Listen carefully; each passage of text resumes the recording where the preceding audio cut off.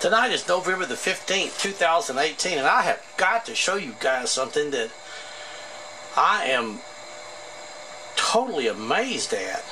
Now, I've got a transformer out here. You saw this last night. Here's pretty much the schematic of it. It's got a tapped primary. Very desirable transformer for tube amps. It's got 800 volts at 400 milliamps. It's got uh, 6.3 volt filament, one at 5.3 amps, another one at 5.3, another one at 3.5. It's got a uh, 5 volt 2 amp, 5 volt 6 amp, and a 22.5 volt at 1 amp. Okay. Now, I got into this idea of buck boost. Now, I can completely conceive of the idea of, like, when I put the negative wire right here, one side of the AC line here, and here, of course, I get these voltages. And that's what I've got right now. This is the output. This is the 800 volts. I've got to be very, very careful there. I've got it across a 10K load, so I'm drawing some power. I want to load it a little bit. And I got the meter across there, and then you can see the meter right there. Now, I can completely conceive of putting one of these or two, or even three, however you want to wire these. But let's just do one at a time in series with this one right here so that our voltage goes in here and say here. Because these two are wired together. I don't want to wire, I don't want to draw too many lines on it because it'll, it'll get weird. But let, let's, let's jumper that one over to there. So that our AC input line now goes to here and here. Now, if this is in phase with this, I would expect this voltage to go down. And it does. But if I put this out of phase, this voltage goes up. I didn't know it would do that. Let me show you. I'm just going to start showing you what this thing does. It blows me away. Hopefully not literally. Okay, it's unplugged. Um, I'm hooking it to the um, whoops, I'm hooking it to the um, 115 volt, right here, 115 volt side, and this is what our transformer output is, uh, without any, any, any funny business going on. Pretty high. It's 878 volts. I'm going to write that down. 878 volts or 881. Okay, well, it's going to vary a little bit. Okay, 881. Let's hope, you know, a little bit of line voltage here and there. Okay, now let's unplug it. Now over here on one of these 6 volt windings, I think you can see all that I'm doing. I'm going to put it over there. And I'm going to put the other side of that 6 volt winding back to that same point. So I've added another winding in there. I have added in series with the primary one of these uh, 6 volt winding. And I'm going to plug it back in. We had 881 now we got 831 okay that 831 makes sense kind of doesn't it? 831 it's going to be some ratio there. So we drop the voltage. That makes sense to me but what about if we reverse the phase on these two right here? Like that. All I did was reverse the phase. Instead of hooking the wire to that side, I hooked it to this side. And now we're going to put our 120 volts from here to here. Watch what happens. Went up to 932. 932. We've got a boost out of it. I didn't know it would work like that. Okay, now if, if that's not cool enough, we can keep seriesing these things. Okay, now let's jumper this one over to here and put these two in series. Let's put another 6 volt winding in series with it. See, now I'm going to be using two of them. I've got these in series and if I've got it out of phase and it's actually going to go back it's going to drop back from 932, I guess, to 831. I'm not sure. 992. Okay, well, see, I got it boosting again. Now I've got 992. Can you see where I'm going with this? This is our original voltage. I was able to drop it to 831 and then by putting it in or reversing the phrase I got 932 I got another 100 volts out of it. Now I got 992 well it's actually up to a, almost a, it's up to a thousand volts now. We can we can understand some of that about loads coming on and off the house. I mean the uh, the line voltage varying on volt or two is going to change the output. Now what about if we reverse all of this right here? Instead of putting it like that, let's see, what would be the opposite of that? That would be moving this one over here and this one over here.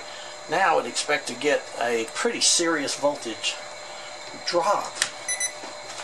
And it dropped down to 789. 789. See, this is this is what it is normally. So I was able to drop it to 731. I was able to raise it to 932, 992, even up to a 1,000. And then when I reversed this right here, I dropped it from the 992 1000 range down to 789, which is lower than this one. 100 volts lower than this one. Absolutely amazing. I did not know that I could I could raise the voltage. I knew I could drop it. And I've even got another 6 volt winding I can put in there. And it just continues. I'd like to know why. I'd like to know if this is sustainable. Can you wire it like this permanently? I don't want to just hear this buck boost thing. I don't want to hear one's a buck and one's a boost. Obviously, I know that. But how is this thing actually functioning? With the secondary windings in series with the primary, it obviously adds more turns in to the primary, which changes the turns ratio from the primary to this high voltage secondary. Let's unplug that thing. And the voltage would go down. But how does it go up is amazing to me. It's like magic. I'm gonna let's let's go one step further. Let's do it. Let's put the let's put the next one in series. Okay, that one would go there. Okay, let's see. I, I don't know which way is going to buck and boost, but I know we got almost a thousand, so I'm gonna I'm gonna put it right there, and I'm gonna put this one right there. and we'll see what happens. So I can just get a staggering amount of different voltages out of this thing. There it's a 1052. Well, that thing's rated at 1000 volts. I don't want to blow my meter up. So I'm going to plug that pretty quick. 1052. 1052. Now if I reverse the whole shebang, now that I've got it all in a series, that would be, let's see, now I'm confused. Okay, I don't want that one going there. Uh, I'm drawing a blank here. Um, yeah, no, here's what it would be. We take this one off and take that one off, put that one here. This should drop our voltage to the lowest point yet. And it does. It drops it to 745. 745. We ra we dropped it, which we expected. We raised it because I, I, I just can't. I just don't know how the the rising works. And there's another rise. There's a drop. 100 volts. We a high rise and then dropped it way down by putting all three of them. One, uh, putting all three of these in series in some order in phase, out of phase. Can you explain that? Besides calling it buck and boost? I'd love to hear it. And thanks for all the uh, the comments, and the support, the discussions, guys. And uh, I really appreciate it. Okay, boy was I excited over that, but I got to thinking there's there's got to be more to it than that, and there is. Okay, I put a, a clamp on ammeter around it. You can see it's measuring zero right now. And I've got it hooked up as a normal transformer, no no buck boost or anything. And we plug this guy in. Uh, we're, we're looking at it on an analog meter now. This guy here, I'm, I'm afraid I'm going to smoke my meter putting over a thousand volts on it. And it's right at 200 and, uh, 270 volts or sorry, 870 volts, excuse me. But that's not what's important right now. What's important right now is just how much current this thing is drawing. Just sitting there doing absolutely nothing. No load on him. I, I took the, the 10K load off and it's drawing uh, 350 milliamps. Okay, if we do 120 volts, I don't want you don't have to watch me play with the uh, calculator. If we do 120 volts times 350 milliamps, we get 43 watts right here. That's what this thing is is wasting in power just sitting there. It's going to be dissipating 43 watts while it's doing absolutely nothing.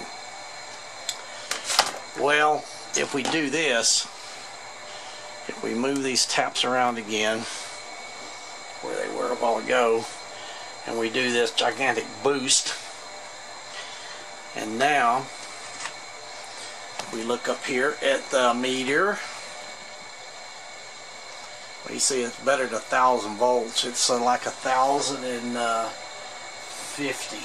1050. Well, that's what we measured on a digital meter a while ago. And with that in mind, see my here so you can see just about everything.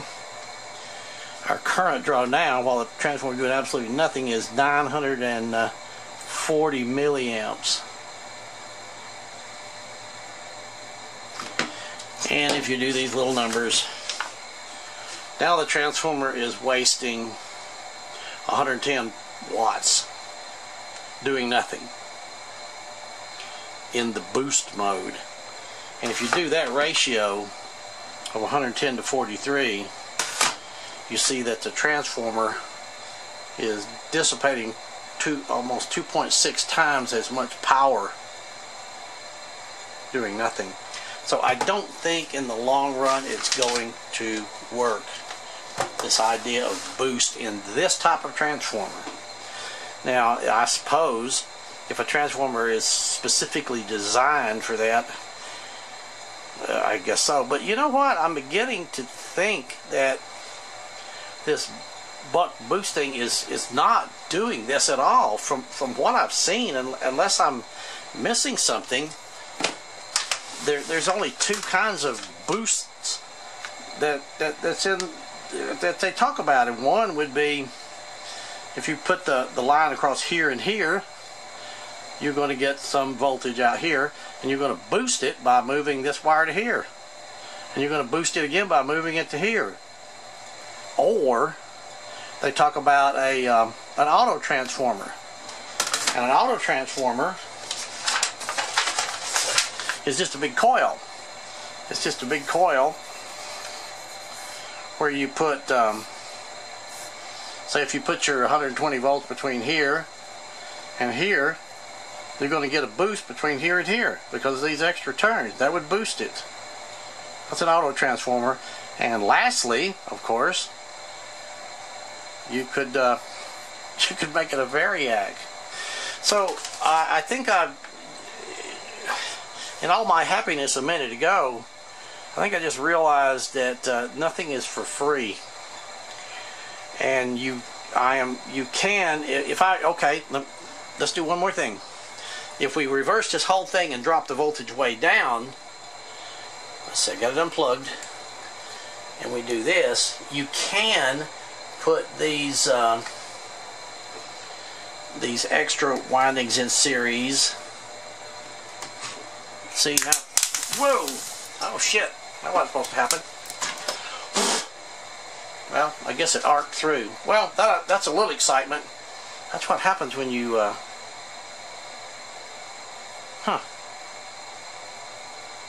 Oh, that was stupid. Look what I did. Look what I did.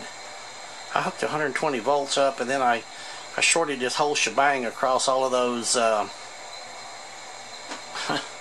all of those uh, six volt windings. Well, what do I expect? Well, at least I know why it happened. Okay, let me clean this up. We'll uh, we'll move on. Okay, let's do this one more time. We do not give up. What I was trying to show you is if I put them in series to lower the voltage, if I put the polarity right of all three of them right now, we're lowering it to our our lowest voltage down here of 745.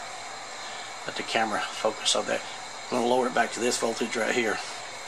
If I do that and plug it in, look at our current now. 150 milliamps. 150 milliamps. I hope you can see that. And then if we do the math, which I haven't done it on this one yet, 120 volts, 120 times 0.15.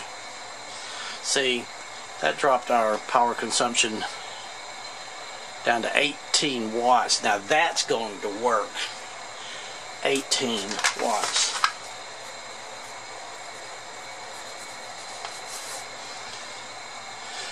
So normally it draws 43 wired to boost. It draws 110. I don't think that's sustainable. Putting them all in series to lower the voltage drops it down to 18, which makes complete sense to me. And this is sustainable.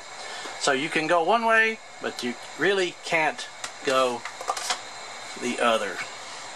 Sadly, but true. So there you go. I guess I uh, kind of answered the question, didn't I? Let's unplug this thing.